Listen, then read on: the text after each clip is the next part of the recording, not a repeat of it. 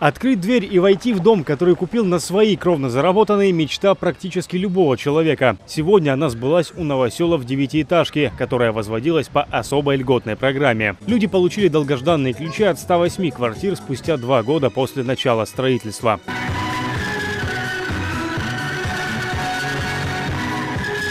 Сейчас, конечно, квартиры выглядят неказисто. Отделки нет, так что косметический ремонт и меблировка на плечах новоселов. Но даже с учетом этого приобретение жилья по кошельку не бьет, ведь республиканский бюджет взял на себя 30% от стоимости квартир. Это республиканская э, субсидия, которая выделялась по распоряжению главы республики Сергея Владимировича Буксенова. Поэтому в среднем квадратный метр для человека здесь получился там, в районе там, 30, там, чуть ли с небольшим тысяч рублей за квадратный метр.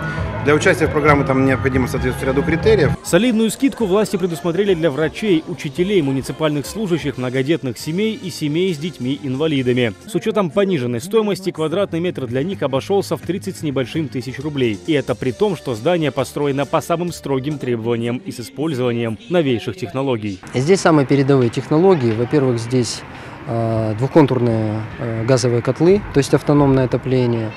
Э, здесь энергосберегающие окна.